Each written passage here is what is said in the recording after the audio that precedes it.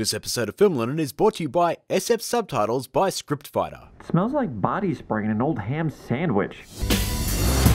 Uh, meow? Hey guys, welcome to Film Learnin, the show dedicated to learning some filmmaking and learning good. And I just want to start off by saying I apologise for using that original Sonic design in the start, but couldn't help myself.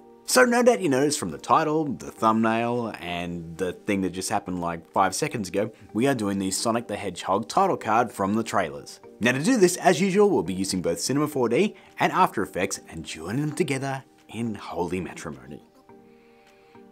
But before we do that, we're going to talk about our sponsor, SF Subtitles from Scriptfighter with Grant in a mini captain's hat for some reason. Righty dokey, matey blog flappled, salty sea dog amigo, skipjack jockstrap piano tuner? Did any of that make sense? No, it was gibberish, but you understood it because of the subtitles down below. And more importantly, thanks to SF Subtitles from Scriptfighter, the easy and convenient way to add subtitles to your videos in Adobe After Effects. With SF Subtitles, you have a tool that allows you to simply import or type in your scripted text, and with the click of a button, SF Subtitles populates a text layer with fully adjustable keyframes that contains each of your scripted lines. It's simply a matter of adjusting them into place as needed, and kablooey! Your video is now fully subtitled, and even if I'm speaking complete nonsense, you can still understand it. Fantastic! You even have the ability to export that in several popular subtitle formats, like this one. Well, isn't that scrumptious? So, if you're interested in making the business of adding subtitles to your projects as quick and painless as possible, you need SF subtitles from Scriptfighter. Click the link below and check it out for yourself. Now, back to you, Grant, you salty old ragtag ragamuffin.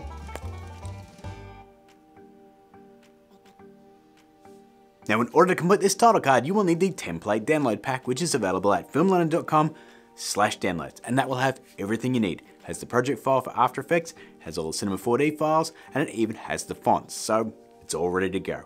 And that's it guys, this one is pretty easy to accomplish, so let's get to work, shall we? Okay guys, here we are in After Effects and I've got the Sonic template open and ready to go. If we check out a preview, you can see what we're working with. No, not too bad.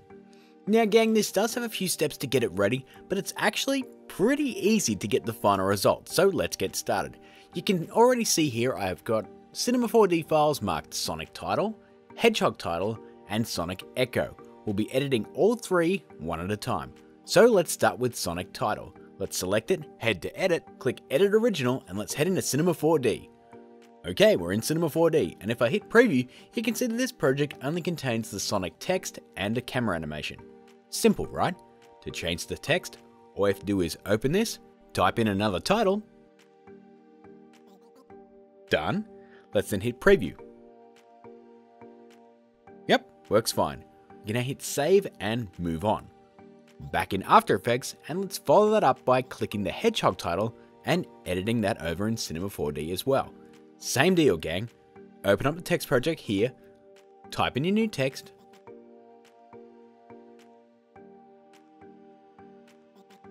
Bam. If we hit preview, that's 2 out of 3. Done.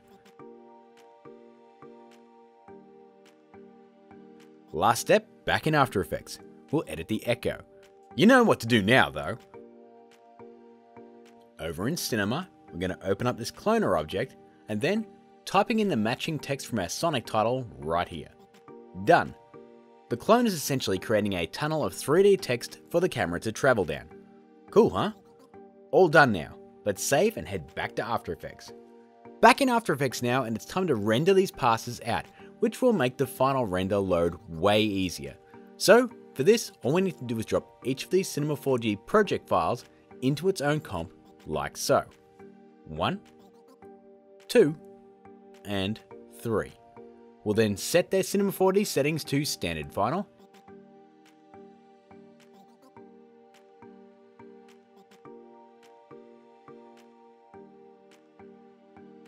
and once they load, we'll add each of them to the render queue, like so.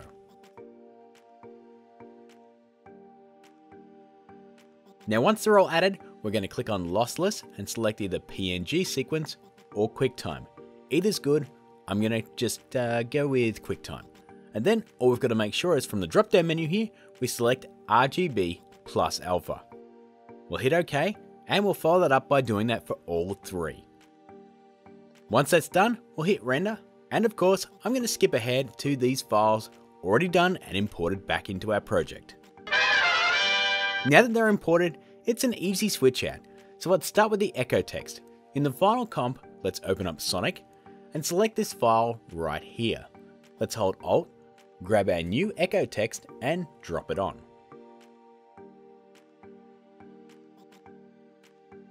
Bam. Next, Sonic title. Same thing. Select the Sonic text right here, hold the Alt key and drag and drop our new Sonic text on top. Bam. Lastly, let's open up the Hedgehog comp in our final comp, just this one right here. Select the Hedgehog text, hold Alt, grab our new Hedgehog text and drop it in on top. Bam. All three are now replaced and we only have to do one more thing and this is done. And this is the hardest part too, gang, but relax, it's not that hard. Let's open up the comp called Saber. You'll see a Sonic title layer in here, as well as a white solid that contains this Saber animation, which we're going to turn off right now. Now, we're going to replace this Sonic text here with our new one, just like we did with our other one. Done. Now, with our new title selected, let's head up to Layer and click Auto Trace. We want the entire work area, so just make sure your settings match mine and let's hit OK. This is going to create a new layer full of masks based on our Sonic title animation. And well, it's not going to be perfect at all. You'll probably find if you scrub through the timeline that there's several masks that either do nothing or they just they just come from nowhere. So, for example, this one here. So, all I'm going to do is just scroll down to the bottom of our masks and just start deleting them like so. They're usually pretty easy to find because they stick to the bottom. Now just do that until all of your weird masks are gone.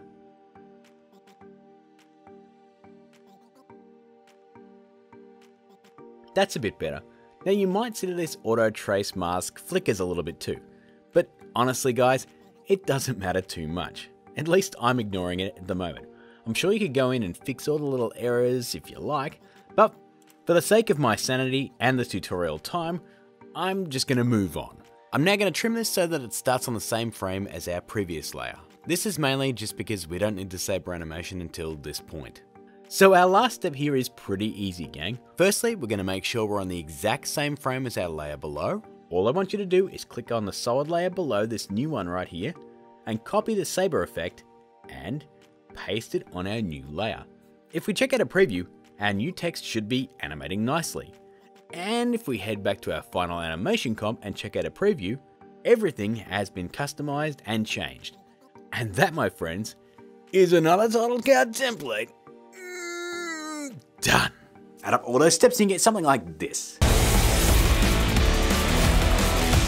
So guys, that is my take on the Sonic the Hedgehog movie title card. As you can see, this one is really not that hard to put together.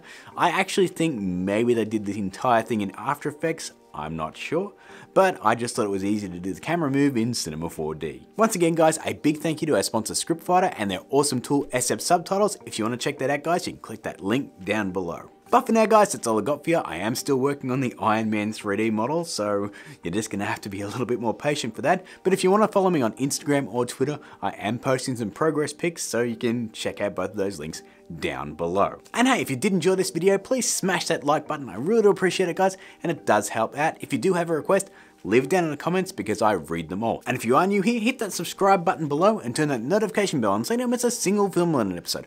I've got two other episodes right over here. I've got all my social media crap that I just mentioned before, as well as the Patreon if you want to help support us, or you can also click that join button below and support us directly in YouTube.